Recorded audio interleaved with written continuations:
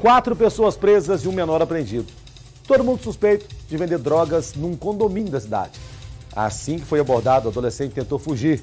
Mas fugir da polícia é fugir do capeta. Aí o que acontece? O capeta pegou ele, os homens da lei pegou.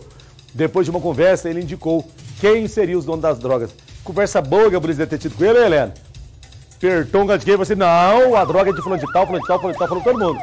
A Michelle Pacheco vai contar como foi essa ação da polícia. Balança aí. Foi uma denúncia anônima feita pelo 181 que levou a Polícia Militar a um condomínio no bairro Araci, região leste de Juiz de Fora.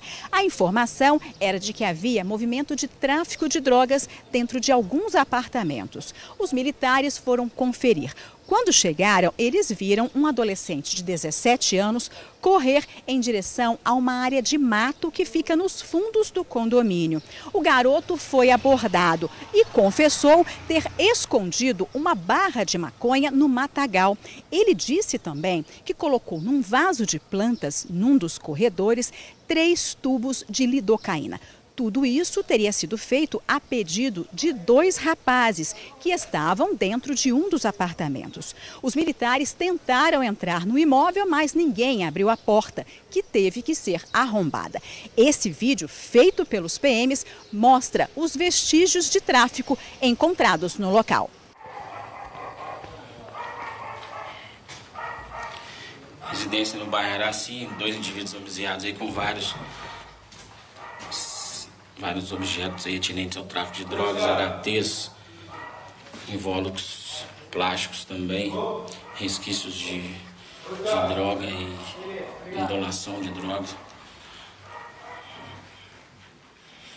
Imóvel sendo utilizado aí para o tráfico, comércio legal de, de drogas.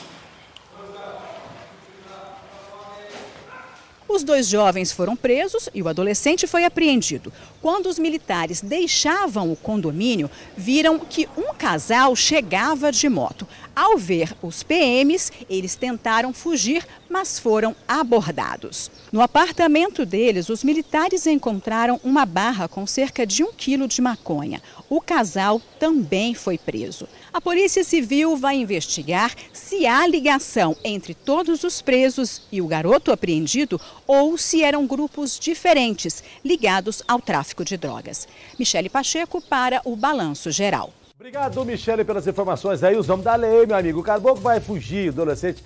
Aí ele é menor, vai fugir da polícia, não vai pegar. Vai pegar! Vai pegar! Os homens da lei não dá ponto sem nó. Aí acaba todo mundo preso lá. Quatro presos e um apreendido.